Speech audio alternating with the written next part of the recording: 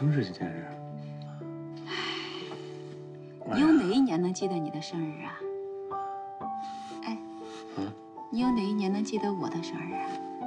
桃子的生日，一家人的生日你都不记得，厉害，真厉害！那不有你呢吗，老婆？正好你记得就行。想不想知道是什么？我看看。那我告诉你，看可以，今天不许再去实验室了，我也请了假了。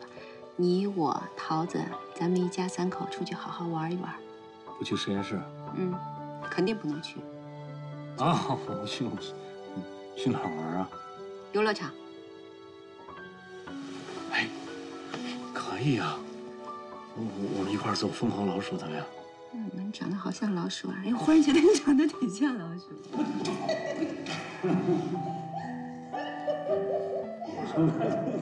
哥，嗯，明天休息放假，不用来了。放假这是什么日子呀？甭管什么日子，让咱们脑袋瓜子好好休息休息啊！杨老师，我跟你都跟习惯了，这一休息我觉得特浪费时间。我就担心我把你给带坏了，你千万别像我这样啊，一天到晚的在实验室里扎扎，生活不会幸福的。听见吗？你得让脑袋啊留给生活一部分，得得得得去享受，唱唱歌，跳跳舞，是，找点事做。嗯。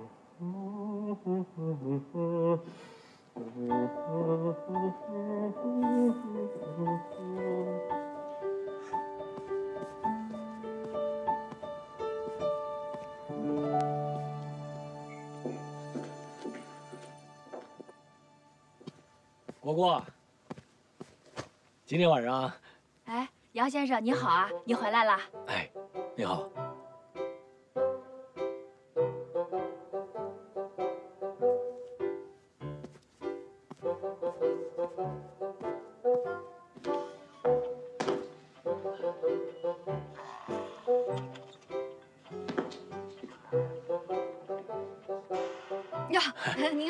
回来了。你好。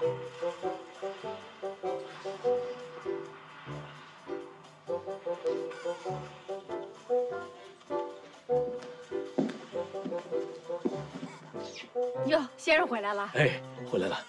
哟，先生，您回来啦！好了，你们都下去吧。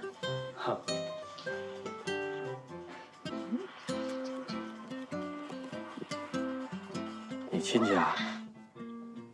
不是啊，那我雇来的阿姨。阿姨？对啊，这这三个都是阿姨，对啊。怎么了？至于吗？你让他们干什么呀？洗衣、做饭、扫地，还哎，还有你院儿那群鸡鸭鹅什么的，不都得伺候啊？那那那你是不是到时候还得请一个园艺师给你栽花，请个司机给你开车，请俩保安给你把门啊？那你要愿意的话，那我那就请呗。哎，老公，给你看看这个可好玩了。我跟你说啊，哎，哎，老公，给你看这个可好。哎，你最后不至于再请个人去给我当助理吧？忘了自己是劳动人民出身了，啊？作的吧你！饭熟了叫你吃饭啊。你说。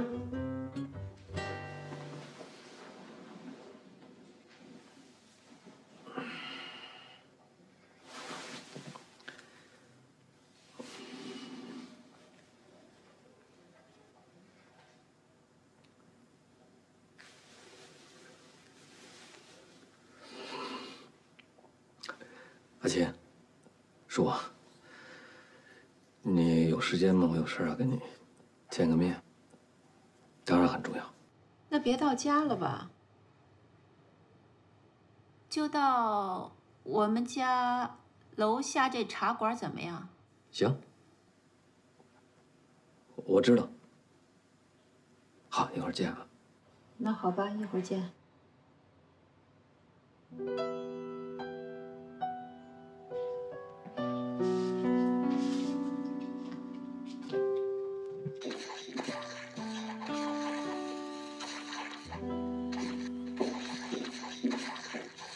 婆婆啊，我有点事儿，先出去，你你先自己吃饭吧。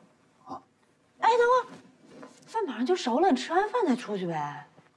你先吃吧，你什么事儿这么着急啊？我就不能有点隐私吗？隐私？你是去找阿琴吧？是，你是你说的，给我自由。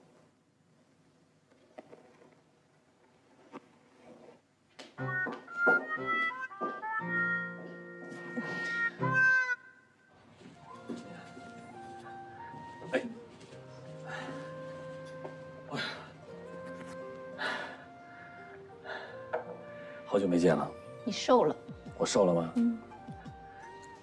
过得怎么样？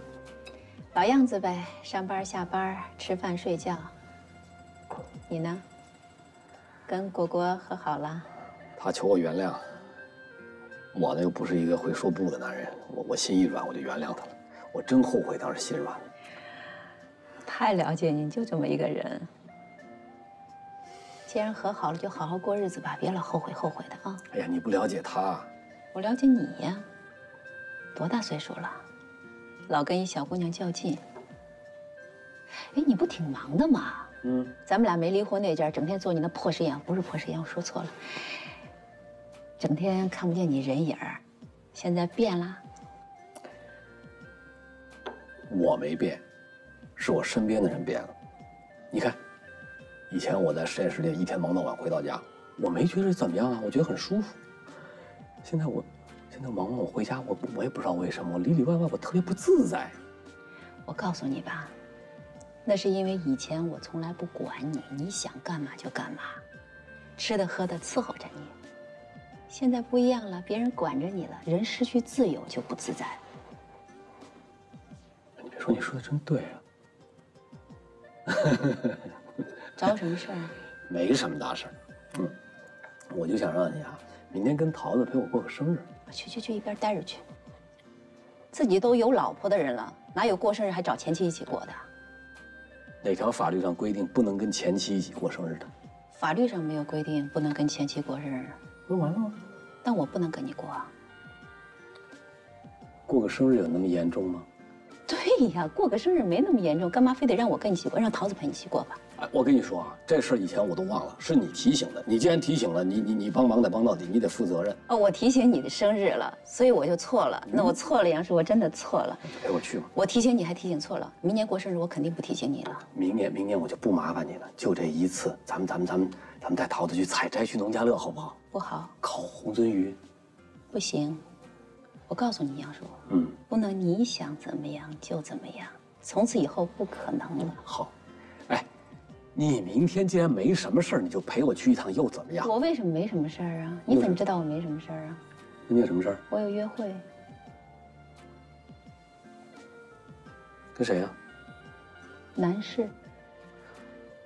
而且我我真不是咒你啊，你们俩成不了。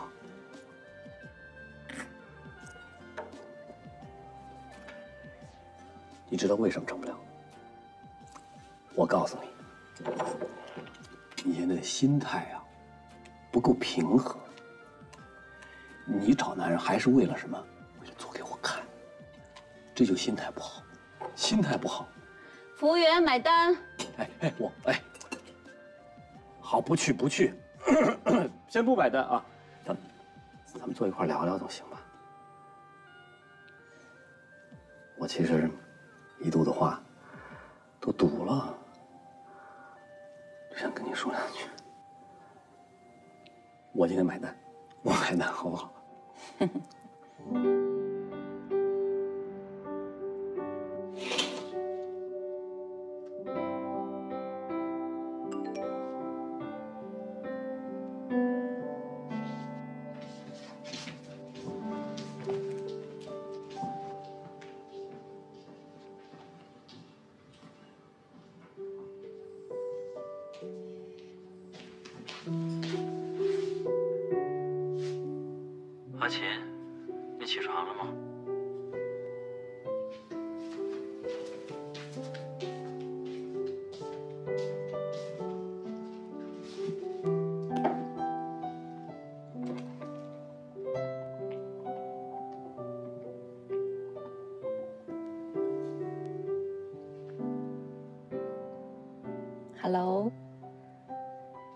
我刚起啊。啊，中午我们俩一块儿吃饭，行啊。那去哪儿啊？我有个想法，嗯，我想邀请你到我家里来。你不是大厨师吗？你们家啊？对，正好呢，我能品尝一下你的手艺。那好吧。那咱们就说定了。你家在哪儿？你告诉我。哦，那小区我去过，我知道。行，那你收拾一下，在家等我，我马上就到。啊，好的。哎，好好好。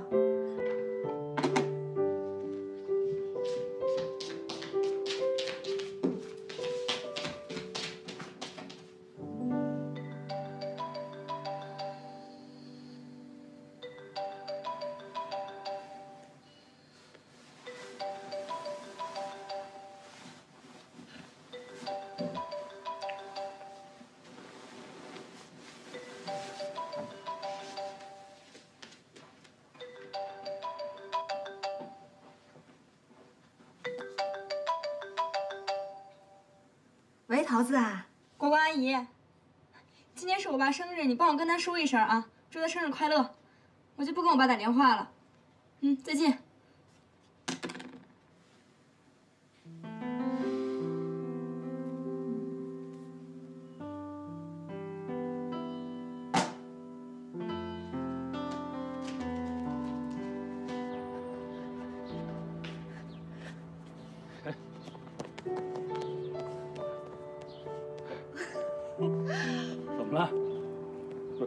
好看啊？那个好看，比穿白大褂好看。真的？来来，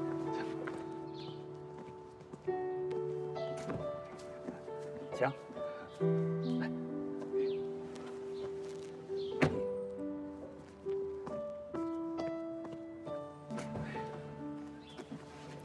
你的车真干净啊！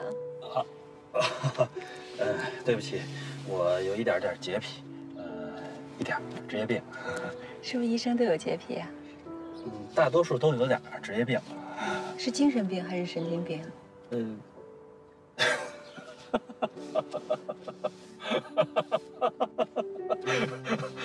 哎呦，对不起，我不是在笑你，我在笑我一个病人。他呀，结过三次婚，结果第三个老婆要跟他离婚的时候，他就跑我这儿来了。最后啊，我就给他治精神科去了。哦，还有精神科，我一直以为只有神经科。不，有两个领域。哦，走。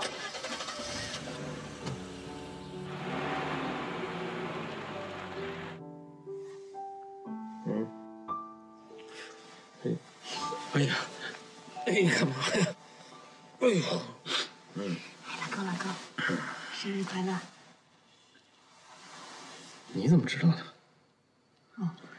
哦，刚刚桃子一遍一遍给你打电话，我怕有急事儿，我就帮你接了。她让我对你转达对你的生日祝福。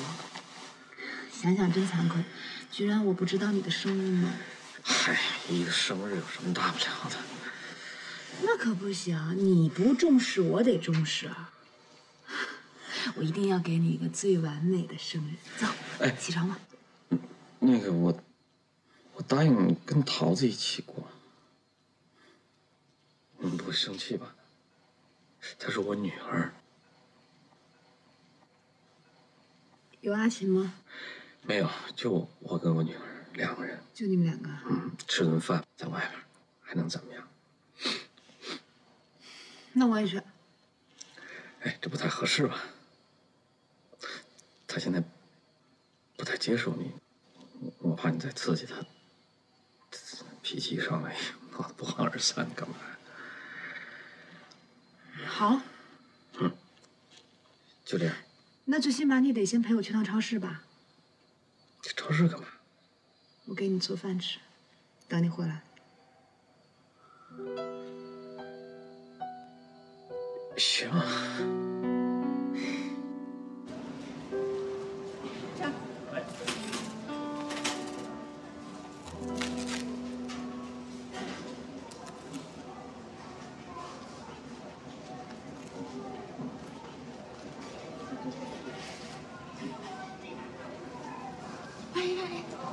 是不要和他说话那个演员冯远征老师吗？不，不是，不会吧，我不会认错人，真的不是。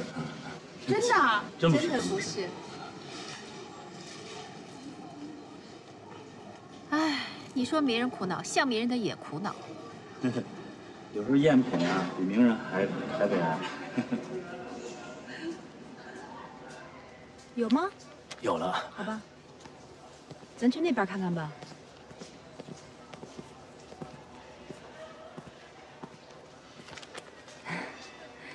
这里有醪糟，嗯回家给你做醪糟蛋吃。嗯，哎，这个酱，这个酱还要吗？还有这红的，还有这个啊，好。哎，这这这要吗？这不要了吧？那走吧，这边啊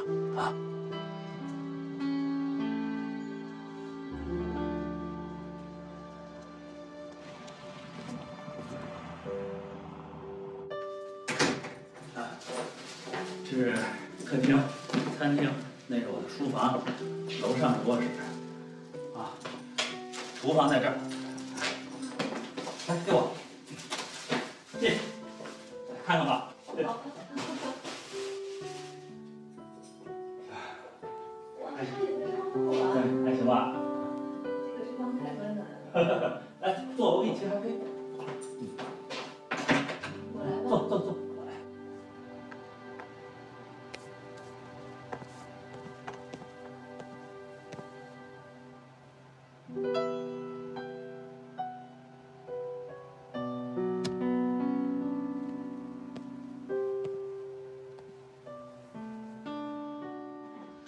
对于我来说，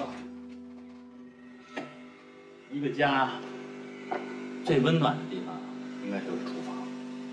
所以我在装修的时候对设计师说了，厨房一定要温暖，这是我的风格。结果装出来以后啊，确实是很温暖。不过一个人的厨房啊，就没有温暖可言了。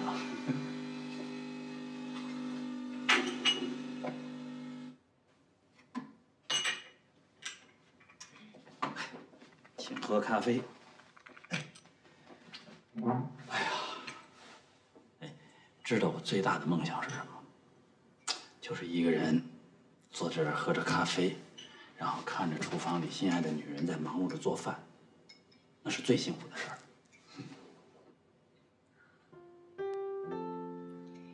你离婚很多年了，哎呀，这个别墅没装修完，他就跟我离婚了，说是跟我在一起不幸福。嗯，哎，你为什么离婚啊？我前夫他是搞科研的，哦，啊，也许你知道他，他也是搞医药研究的。真的？他叫什么？杨树，杨树，我认识啊，大科学家。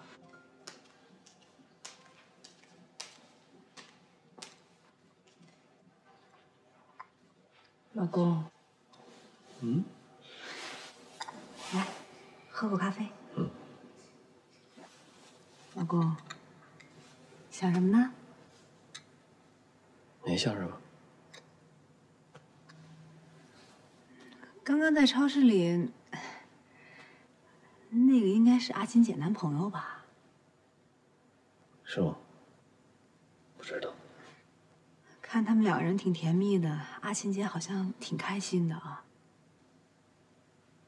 你想说什么？阿琴姐她开心，咱们两个人也应该为她开心吧？我不开心吗？你觉得？你觉得我不开心吗？她是不是她男朋友跟我有什么关系啊？啊？她开不开心跟我有什么关系啊？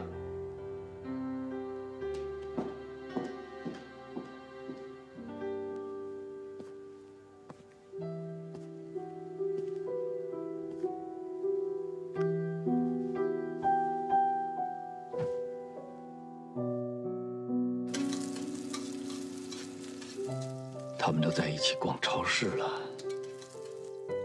他们一定是一起生活了。他们，阿琴要为别人做好吃的饭菜了，阿琴要成为别人的妻子了，阿琴。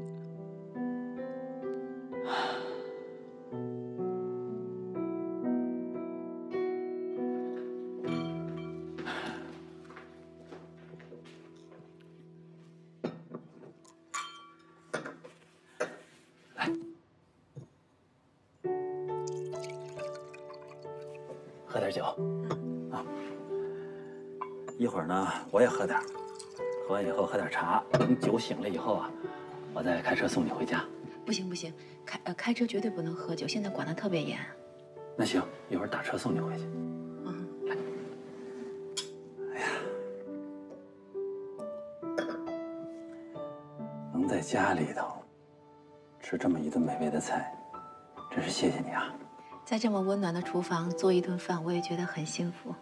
谢谢与你共进午餐。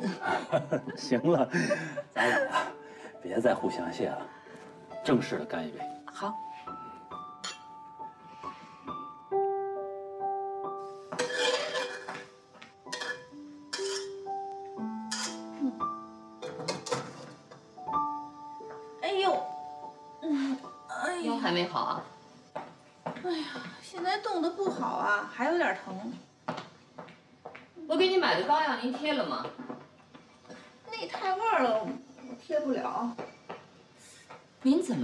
矫情？不就是点味儿吗？无非是药味儿而已。您又不去公共场合，在家贴有什么的？那味儿太大了，我自个儿也受不了啊。那您就疼着。我疼怎么了？我也没找你哼哼。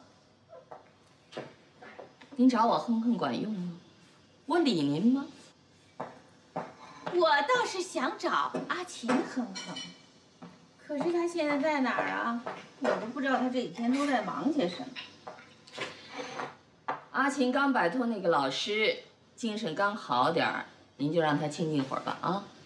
大姨，大姨，做好了吗？好了好了，热死了。大姨给你盛饭啊。哎呦，哎呦，哇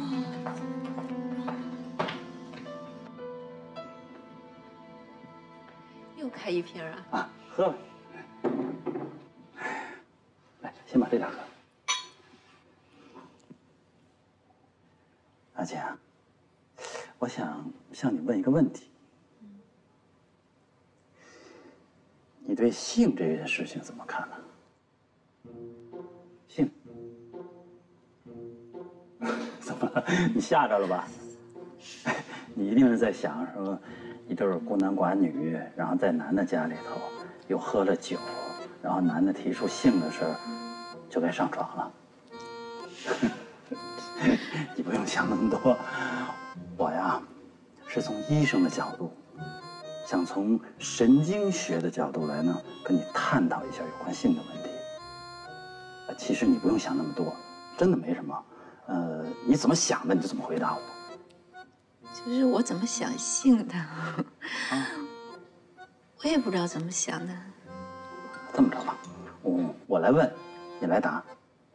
嗯，好，那就是 在你看来，性对你来说是不是最重要的？不是最重要的。我跟杨树，我们俩在一起的次数也很少。嗯，那还有，那你在选择丈夫的时候，是更在乎性呢，还是更在乎其他的东西？我在乎的是两个人在一起的感觉，就是两个人在一起是互相吸引的。他看你的眼神，你看他的眼神，都特别有灵犀，就像上辈子你们俩已经认识，这辈子是缘分的注定。不过两个人在一起应该还是互相关心、互相体贴，就是挺有爱意的吧，但绝对不是性爱。嗯我明白了，你的意思是说，你更在乎的是男人对你心贴心的关心和他的关怀，还有依靠感。我觉得是女人肯定都在乎这个吧。那 我说的这些对你的医学研究有帮助吗？那当然有帮助了，谢谢你。我想跟你说，男人跟女人肯定不一样，男人肯定是更在乎性。你错了，其实男人的神经才是更脆弱、更敏感的，男人才需要女人更多的关心、关怀和女人的细心体贴，真的。哎，我再问你，你有没有进一步想继续寻找？有啊，有啊。我离完婚之后，我又谈过一个，哦，没成。不合适。嗯，他是一个收藏家，家里有各个年代的很多的那个古董，就坐的椅子是明代的，然后喝茶端的那个茶杯是宋代的，我喝茶端着茶杯手都抖。后来我打碎了他一件最珍贵的古董。他说他的每一个女朋友都要打碎他一件古董，他所以他觉得他跟我不合适。真的？哦，所以我就在想，他可能是要找一个不打碎他古董的女人做他的老婆。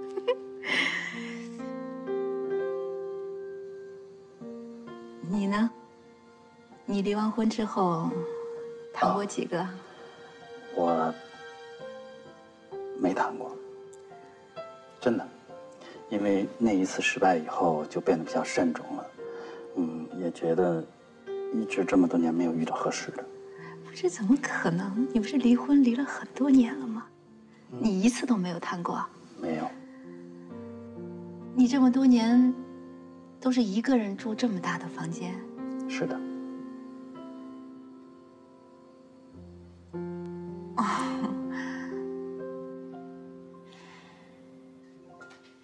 老公，来，快吃饭吧。今天全都是你最爱吃的菜。你看这蛋糕漂不漂亮？来，把蜡烛点上。点啦。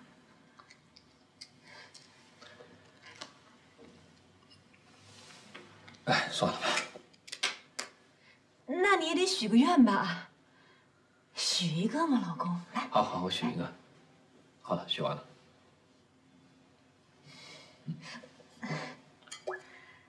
今天是你生日，咱们两个喝一杯吧。果果，我觉得不太舒服，就别喝了吧。今天你生日嘛，来，祝我最最亲爱的老公生日快乐。我真的不太想喝。吃饭吧。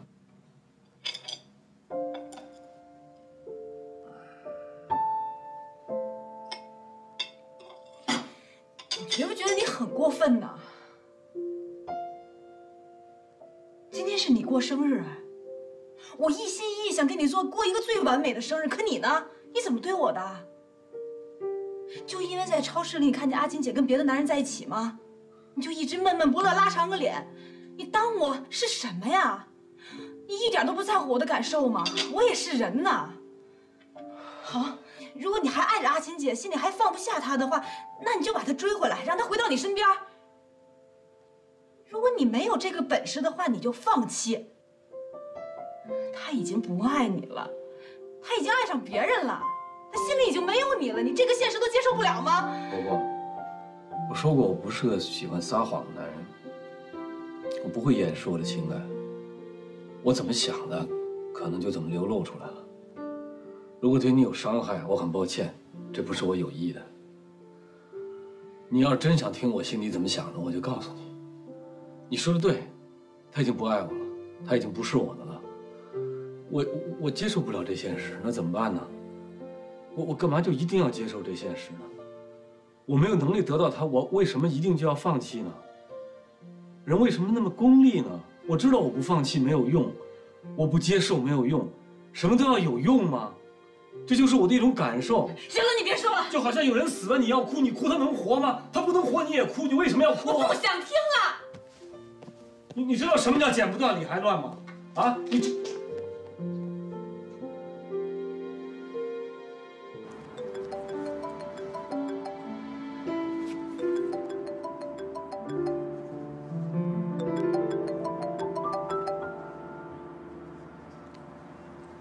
喂，阿琴，我觉得我今天终于找到合适的了，我们两个真的很合适，我希望你考虑一下。那我等会你回话。好的，拜。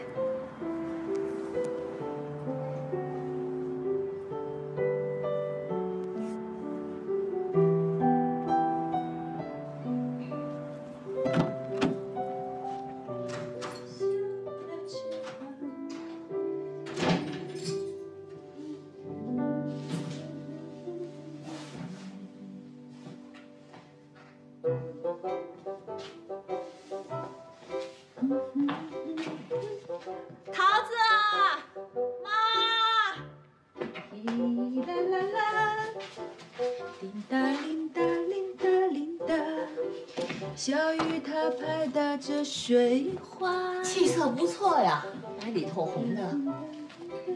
我还以为你精神欠佳，跟家歇着呢。又有什么喜事儿啊？嘴都合不上了。你们又发现什么端倪了吗？和平时太不一样了。小雨它拍打着水花。赶紧说吧，到底有什么好事儿？我猜到了，是不是当上厨师长了？升官了，工资涨了多少啊？是不是当上长之后都不用亲自掌勺了呀？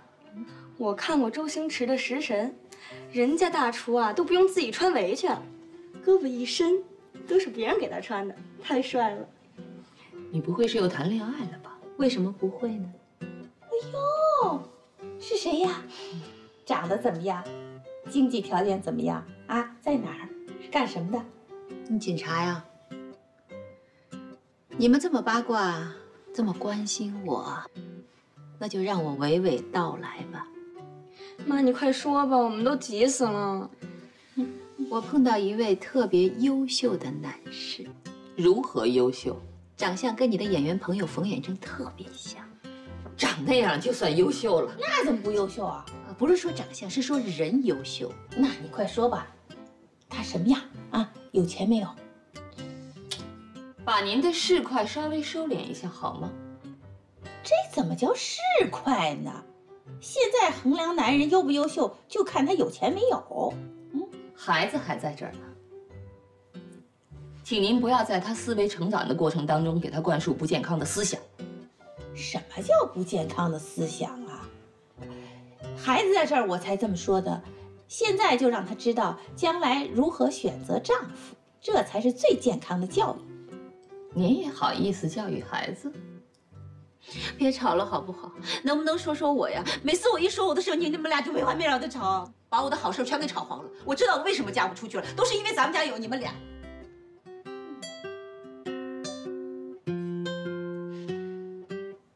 那你说吧，说吧，你说吧，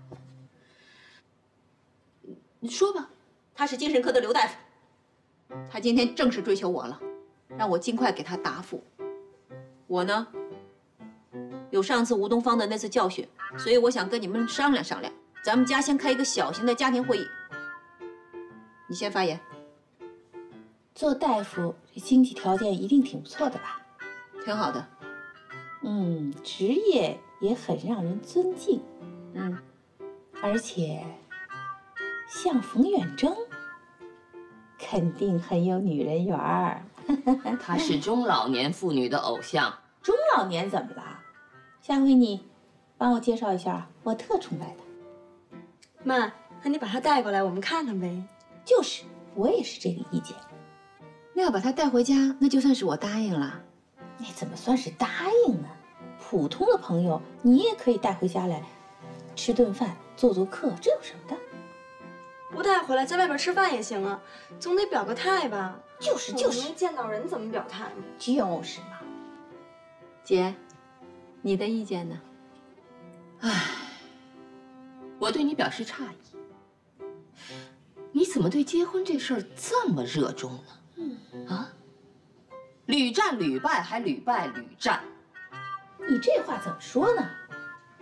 什么叫热衷？什么叫不热衷啊？女人必须有婚姻，离了婚再结婚怎么了？这不是很正常吗？什么叫屡战屡败？阿琴在找对象，那就叫做热爱生活。你不敢结婚，那才是怯懦。结婚就是热爱生活的体现，不结婚就是不热爱生活，怯懦。男女关系永远是热爱生活的标配吗？我告诉你啊，这世界上啊，就是有雌和雄两种性别组成的，繁衍后代那是必须，这就是热爱生活的标配。你不顺其自然，不结婚，哼，就是怪物。你们才是怪物，谈恋爱然后失恋，结婚然后离婚，爱的你死我活，恨得死去活来，有意思吗？你没有结过婚，你也没谈过恋爱，你怎么知道这有意思没意思？你有经验啊？啊？世界上最愚蠢的人。就是非要把自己撞得头破血流获得的经验叫做经验的人。唉，有人呐就喜欢评论别人，从来不拿镜子照照自个儿。一个没结过婚、没谈过恋爱的人，凭什么对别人的婚姻说三道四、指手画脚？一个没有经历过正常的婚姻，只当过小三儿的人，有什么资格对别人的婚姻指手画脚？都是一个山上的狐狸，你跟我说什么《聊斋》呀？像您这种人，在我的剧本里，顶多让您活两集。我才不愿意活在你的剧本里呢！哼，那才叫生不如死呢。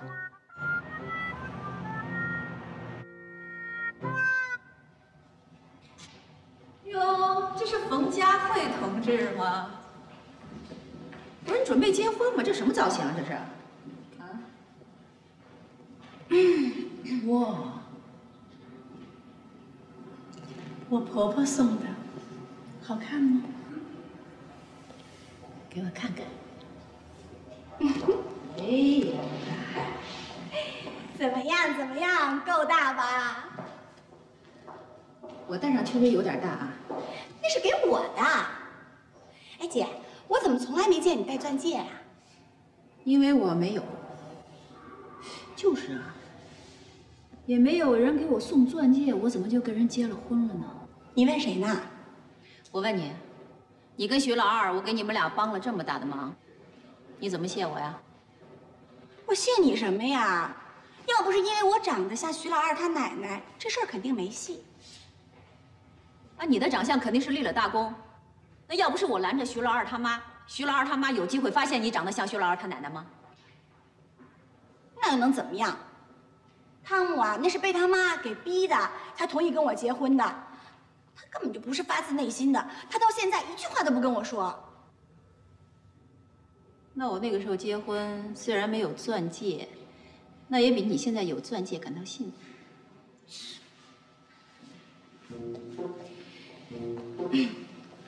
姐，只要你帮我，让徐老二发自内心的爱上我，将来我一定送一枚。戒指给你，你咬着后槽牙说送一枚戒指给我，就是你送给我，我敢戴吗？那我连续给你加五次班，行了吧？妈呀，从一枚戒指一下吧唧，落成加五个班，你这差距也太大了吧？姐，我求求你了，你就帮帮我吧。先给我沏杯咖啡，速溶的就可以。